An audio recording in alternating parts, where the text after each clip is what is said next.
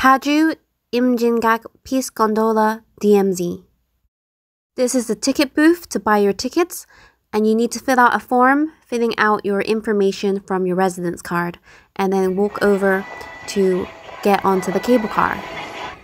You have to wear your wristband that says your name on it. There are two choices in cable cars. There is the crystal floor and the general one.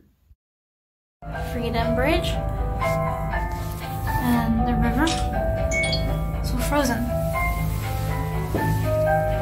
Frozen and covered in snow. Look at this sign. You go here, it will explode. Rooftop observatory. So the ticket booth was on the other side of this river. I just got to the top.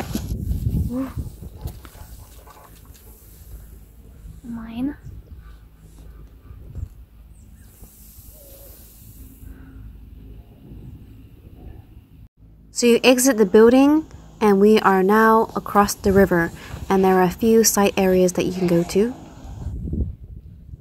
This is the cable car building that I just left, and I was just on the rooftop up here.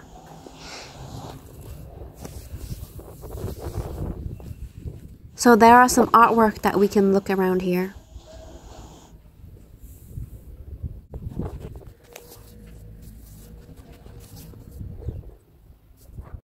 Time lost, time regained.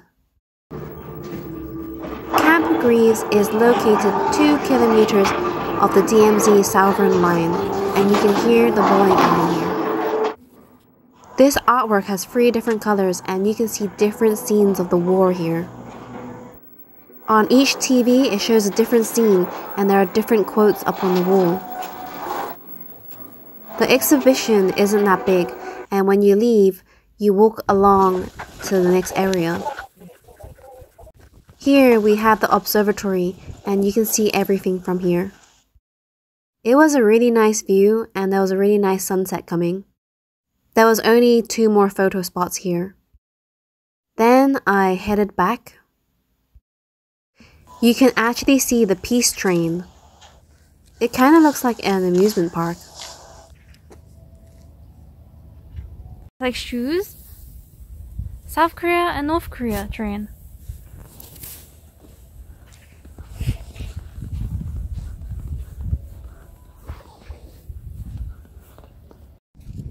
So there's a rail track, but I don't think you can actually ride the trains. So you can just look at the trains here. The area is pretty big and steep. Thanks for watching. Please like, comment, and subscribe. Bye.